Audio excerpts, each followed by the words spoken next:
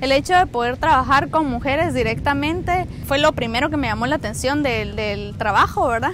Porque no solo estoy trabajando directamente con las mujeres, sino también estamos facilitándole su trabajo, viéndolo bien como el empoderamiento de mujeres, pues el, el, producto que nosotros estamos ofreciendo con soluciones apropiadas es para mejorar su negocio, su salud y su bienestar.